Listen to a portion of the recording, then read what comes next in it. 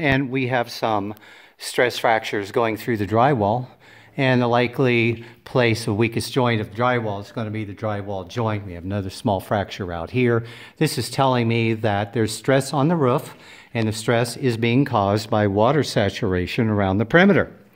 I did feel a slight heave right here in the floor in this, coming right off of this corner. And over here in this corner, I have a separation at the weakest joint, which is going to be doorways, windows, and thresholds. So this crack is continuing over here, which is suggesting that we have a little bit of movement.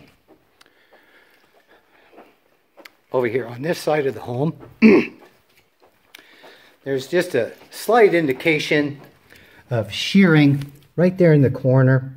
You can see that little tiny, tiny crack. This is probably the earliest that I can show you. Start coming up the wall. This is indicating that there's a little bit of movement over here. So I'm looking up a little high. And then right here by this back door, right up here at this corner, there's a little itty bitty tiny crack up there. So all of this is indicating that there is a little bit of settlement going on and the post-tension cables are tightened to 27 to 30,000 psi. Now we're outside. All of this rainwater coming off of this area and this area and the other one is all just pounding this area here. And we have a sidewalk, basically a dam holding all of this moisture in and when this moisture gets held in, it's going to go in between this entry and that foundation slab there. And it's going to evaporate up, leaving efflorescent salt deposit left behind from evaporated moisture chewing into the concrete.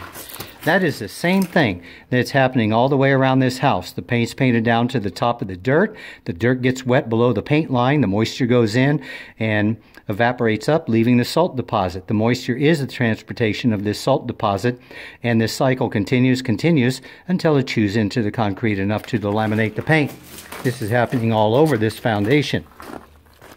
However, I will be going over here on this side and this is a post-tension foundation. And what I'm looking for are these two rust dots. This is patch material. Right back behind there is the cable with two half moon wedges holding that 27,000 psi on.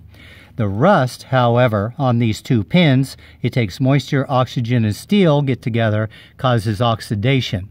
Oxidation has a low voltage current, so there's moisture and oxygen going through here. Back behind here is a hairpin.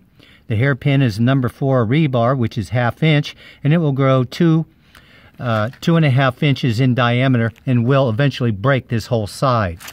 And this is going on all the way around this house at these uh, post-tension cables. So the repair would be and is in dire need of patch, repair, waterproofing, and painting.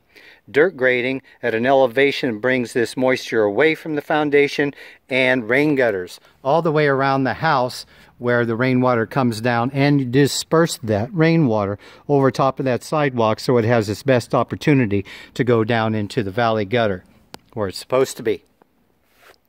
So dirt grading, patch, repair, paint, and waterproofing and exterior house paint is going to stop the oxygen and moisture from getting to this rebar that will exacerbate on the inside breaking out this entire wall that's where this is going to and is starting so this would help slow down and even stop this from continuing to exacerbate itself. Also because post tension and it says it right here and usually all garages will have that stamped in it. Post-tension foundations are only 12 to 14 inches tall where it sits on top of the dirt. Well the dirt gets wet below uh, the vertical wall of this foundation and then it's kind of like a 10 pound bowling ball on top of mud. It's going to sink causing vertical breaks these vertical breaks look just like that they are vertical break, which means that this monolithic foundation post tension, it broke there, so that means that this side is going down slightly. And there are a few, several ones across here, which this side, that side over there, and then the opposite corner are all three moving down, causing the stress in the roof, causing the crack in the ceiling drywall where we were just inside viewing.